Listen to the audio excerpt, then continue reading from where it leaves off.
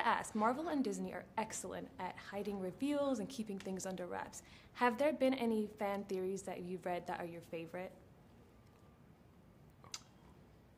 You know, I try not to read things. Yeah, me too. I read one that um, thought that what was it?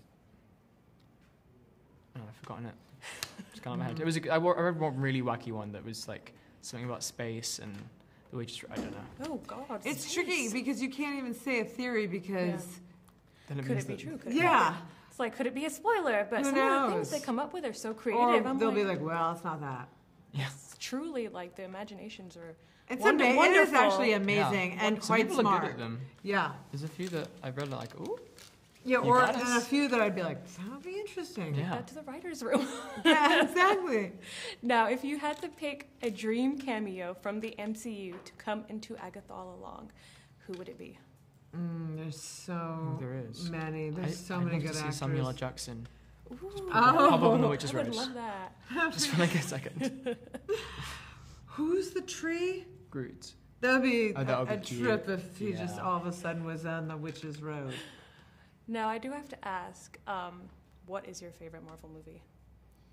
Black Mm. Widow is mine. Okay, I love that. Yeah, I, Black Widow is pretty is fun. Also, yeah. hmm Now, Joe, if you had to decide on who would play your twin brother in the future of Agatha All Along, Do I have a twin brother? well, within the comics, there's some like theories. Oh, I don't think we're talking Oh. about the same role. Teen doesn't have a twin brother. Oh, really? I was No. like reading. Okay, well, Hmm.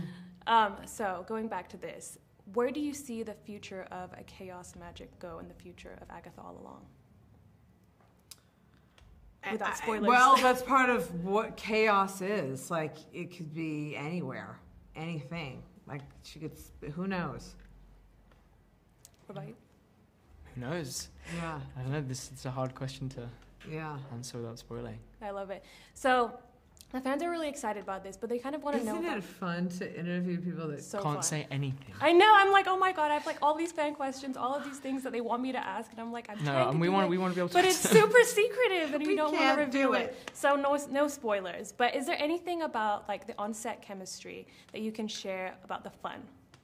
Mm. Oh, we had the best time. Mhm. You know, it was great fun. We would just chat and sit. We wouldn't go back to our trailers. We'd just sit and chat and dance. Sometimes Patti would play music. Um, Patti would sing something. Patti would sing sometimes, which is great. I love We that. would tell sit around. stories. Like talk about food. Our next snack. Yeah. There was a lot of talking about food. Marvel sets up really great snacks. Amazing. you That's could like actually get my- like toasties and smoothies. We Mm. had an Agatha smoothie, we called it, Yeah, I don't know what was that's in it. but it was delicious. And it was purple. I Mm. love that. So that's actually leading on to my next question: Is uh, what is your favorite on-set snack?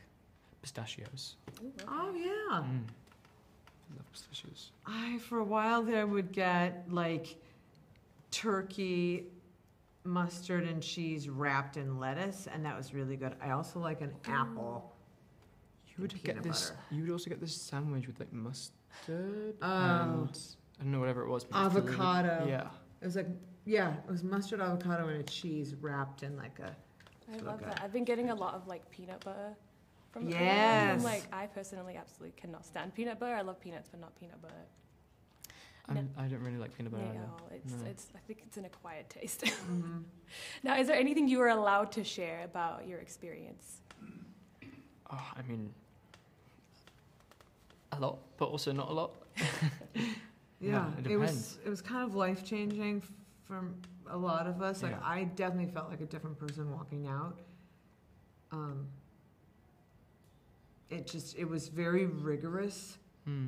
and like I would tell my hubby, it was like landing a 747 every day. like the amount of amazing work we did, Mm. but it was also the most satisfying, and so. And I'm so proud, and so just in awe of this cast. And i cannot believe that it even exists that like this happened. So it was I yeah that was like one of the many best parts it's just to be on the other side of it being like Hmm. No, it truly is an amazing show, mm-hmm. and I just love how the fans are so excited because we, as an audience, feel like this is something where we feel safe, we feel a part of it, and I'm so excited for the world to see it because it truly reminded me of like some of the best of like when I was growing up and the TV shows that I loved, and you guys are the best. Oh, thank Thank you. you. so thank you. It was so lovely meeting Nice you. to meet you. both. Thank you.